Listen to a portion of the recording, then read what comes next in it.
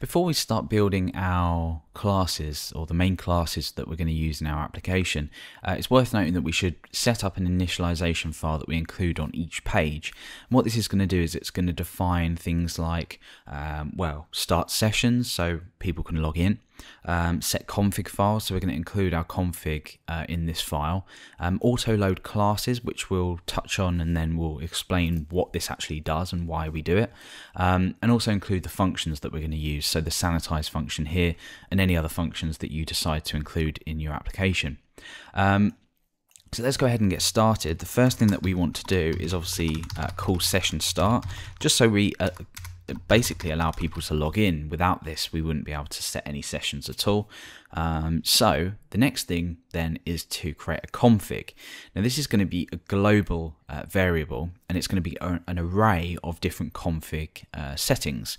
So for example, um, MySQL config, so database config, um, different names for things like cookies and different names for things like sessions. And this basically just lets us keep consistency. So once we've done this, we will will eventually create our config class, which allows us to just pull any data we want from this config and make it super easy uh, to set things up. And this again saves a massive amount of time in the future.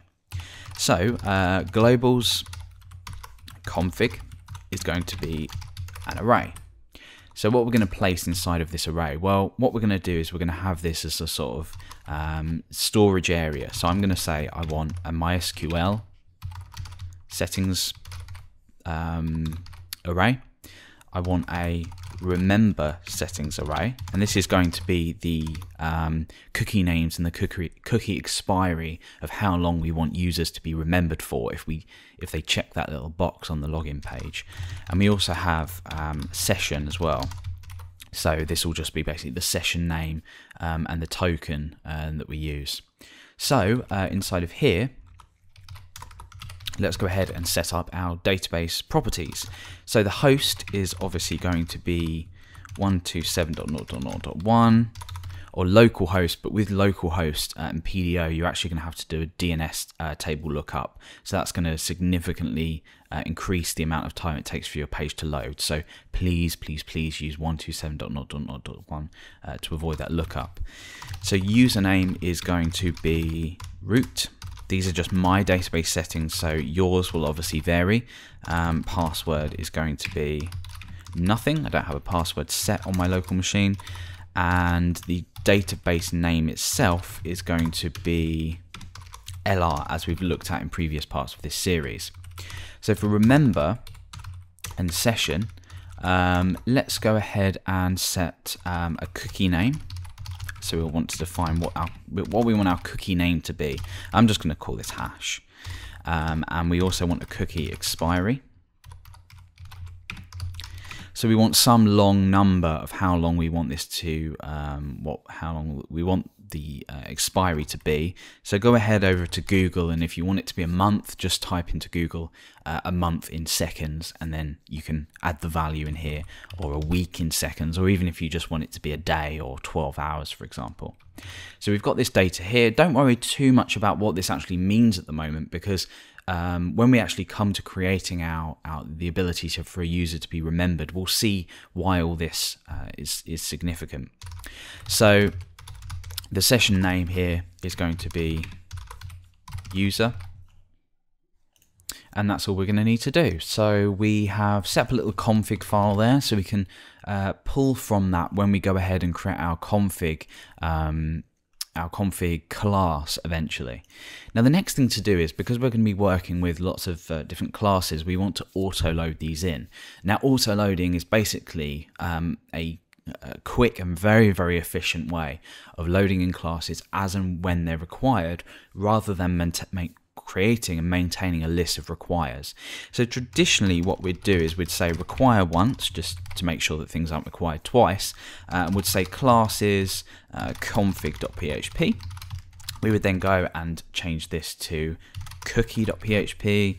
We'd change this to db.php, and you can see that I'm just basically including every class I've created in this classes folder. Now this is going to be a massive long list. It's going to be inefficient because we're including um, everything that we want in this init file, which we might not want to do. Um, and also it's going to be extremely difficult to maintain because what if we change the name of this DB class? Uh, we then have to go and change it here, or what if we change the name of the folder, for example, or the location of the folder? We're going to have to go back and, uh, and update this. So we'll scrap that and instead we'll use uh, a function in PHP called SPL auto load register. Now what this does is it allows you to pass in a function that deals with or that's run every time a class is accessed. What we then do is from the argument list of this function take the class name and we can then require that. So we really are taking, uh, you know, say 10 lines of code and reducing it to just a couple. So um, I'm going to use an anonymous function here, uh, PHP version depending, you might have to create this function outside of here. But the anonymous function is basically going to have, as I've mentioned already, the parameter class, which represents the class we're trying to access. So for example, if down here we were to say new, uh, oh sorry, db equals new db, what this is then going to do is call this function, because we've uh, applied the auto load register. And SPL, by the way, stands for Standard PHP Library. Um, it's basically just a library of everything that we, we get included with PHP. Uh, we run this anonymous function, uh, no need really to define a name. Uh, class then is DB, and what we can then do is inside of here, we can require once. Um, so traditionally we'd do classes forward slash db.php, but we replace db with the name of the class. So we just concatenate on class. So now when we do something like db equals new db, this is called, this function's called, this represents db and we require in db. So we're not requiring every single class um, in this init.php file uh, unnecessarily. We're only requiring things in as we need them. So very, very useful. So um, we also then want to go ahead and just include the functions uh, that we have in our functions directory. So we're going to go ahead and require once functions forward slash sanitize.php.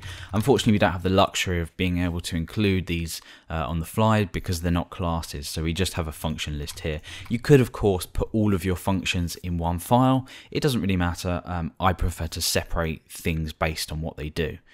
So that's our init.php file. This is going to be included on every page that we uh, create. So for example, in index.php, at the top of each page that we need, we're going to go ahead and re require in core forward slash init.php. And we do this on every single page just so we make use of all of the functionality, our config, starting up sessions, and registering um, uh, classes or loading classes as they're required, and pulling in our functions that we may or may not require. So that's our init.php file, and uh, that's how we uh, create and include it.